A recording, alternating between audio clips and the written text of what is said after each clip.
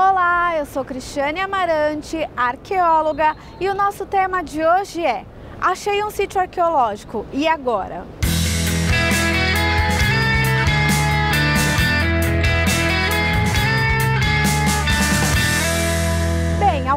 Pessoas encontram, na verdade, mais comum uma pessoa encontrar o artefato arqueológico, a ponta de flecha, o que chamam de pedra de raio, que a gente já viu aqui no canal, que é o machado de pedra polida. E o que as pessoas fazem? Geralmente pegam um artefato e levam para casa. Bem, se você achou um artefato, provavelmente você estava em um sítio arqueológico. O mais interessante é deixar o artefato onde ele estava e de um modo que você consiga encontrá-lo novamente. O que deve ser feito? Deve ser comunicado ao IFAM. O que é o IFAM? É o Instituto do Patrimônio Histórico e Artístico Nacional. Todos os estados do Brasil, cada estado tem um IFAM com arqueólogos e arqueólogas lá responsáveis pelos setores.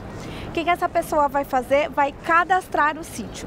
Bem, mas onde eu estou é muito longe de um IFAM, não tem o telefone, se bem que a gente vai deixar aqui os contatos do IFAM, o telefone e tudo que você precisa para poder fazer uma comunicação dessa, caso você tenha um objeto arqueológico perto da sua casa e a pessoa vai lá e faz o, o, registro. Bom, qualquer pessoa pode fazer um registro, um cadastro de um sítio arqueológico? Sim. Só que quando você tem um arqueólogo ou uma arqueóloga fazendo isso, a pessoa tem um conhecimento maior a respeito do assunto. Vai poder colocar os pontos no GPS, vai poder calcular o tamanho desse sítio, vai fazer uma boa descrição de quais peças tem ali, de que provavelmente qual cultura viveu por ali é, é, uma cerâmica, é um artefato polido, é um, um, um, artefato de pedra lascada, o que é? Então o arqueólogo consegue fazer uma avaliação melhor a respeito do que é esse sítio. Bem, as peças arqueológicas pertencem à União. Isso significa que elas não podem ser vendidas. Pela legislação brasileira, vender artefatos arqueológicos é crime. Poxa, então achei um super sítio e como comunidade ou como pessoa a gente não pode ganhar nada com isso?